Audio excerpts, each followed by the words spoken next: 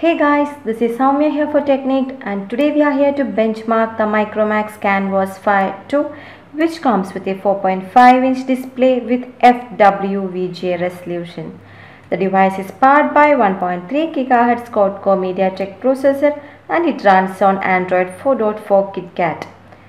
The Micromax Canvas Fire 2 competes with Motorola Moto E and Asus Zenfone 4 and also the company's own Unite 2. We'll be doing Antutu benchmarking and quadrant test and we'll also compare the value with the value of Motorola Moto E and see how good the performance of Micromax Canvas Fire 2 is. So let's start with the benchmarking. We'll first go ahead with the Antutu benchmark.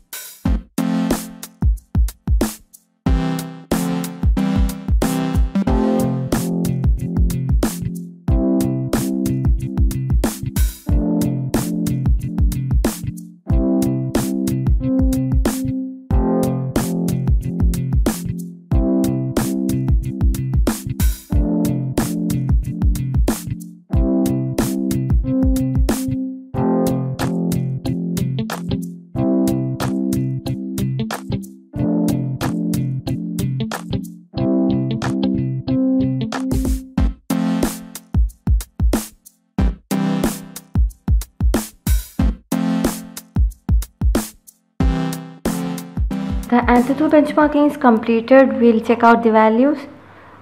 Uh, the Micromax Canvas Fire 2 has come up with a value of 18047. It's an amazing value. Uh, Motorola Moto E gave us a value of 11897 when we did Antutu benchmark.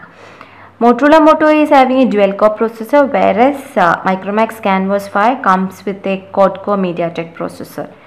The device is positioned between Samsung Galaxy Note 2 and Samsung Galaxy S3 which is a decent position I must say. Moving on to the quadrant test.